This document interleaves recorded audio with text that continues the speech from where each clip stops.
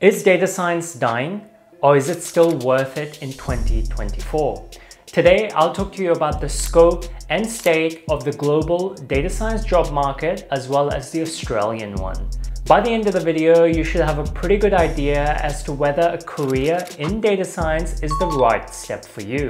I'm Samanvay, a data scientist living in Sydney, Australia. So far, 2023 and 2024 has not been a great year for tech. There have been mass layoffs in companies like Microsoft, Google, Amazon, and many other name brand companies. No tech job is safe anymore. It's a natural question to ask yourself whether going into tech or data science is a great idea for 2024, given the fields don't seem as stable as they once did. So let's aim to answer the question and I'll talk through it in four categories.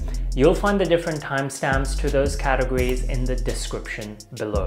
Let's start off with the global view of the data science market.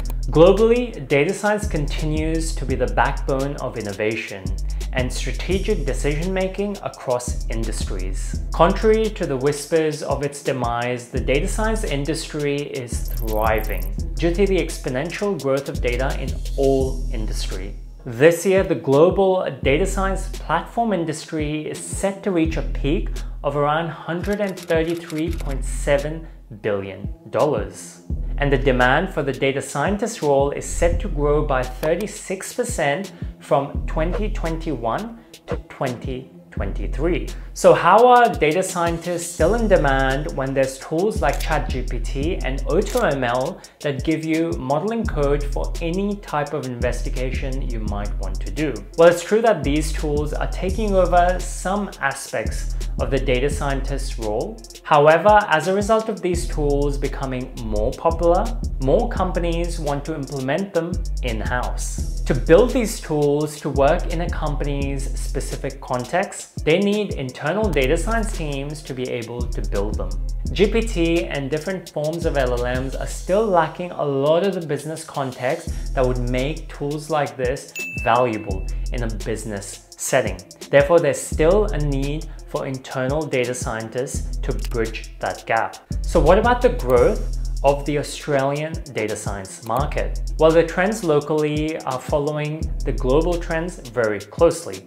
The data science industry in Australia is booming. In my day-to-day -day job, I talk to data science teams from various organizations, including finance and tech. And so far, the enthusiasm for building applications using AI is at an all-time high. Given the popularity of LLMs and enterprise ML tools, companies are willing to take more of a risk to innovate using AI out of the fear of falling behind their competitors who are already putting a lot of these tools to a good use. So for the first time, AI is truly becoming widespread in multiple different organizations.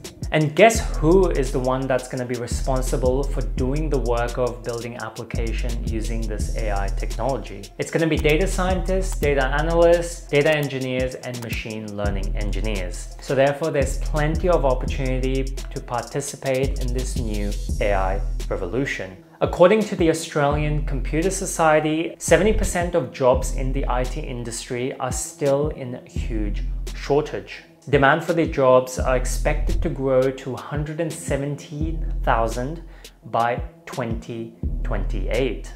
So we definitely need more data professionals to be able to work in the IT industry of Australia. However, it's important to note that these days there's a lot of different options to study data science, which means that candidates for these jobs need to really be able to differentiate themselves beyond their tech degree. So we'll discuss this in a little bit more detail in a short while. So with the increased demand for data science jobs, the flavor of data scientists and machine learning engineer roles are changing.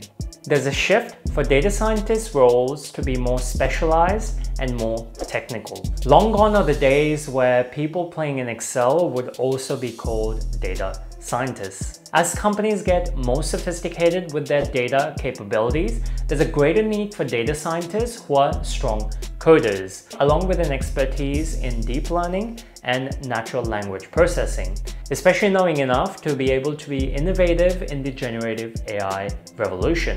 Nowadays, data scientists can expect to work more on scaling modeling systems and AI systems at large.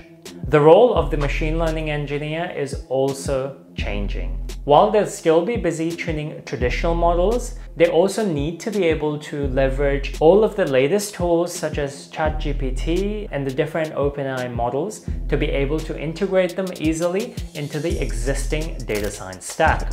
So they need to be able to build on top of their existing data science tooling to accelerate innovation within the company they're working in.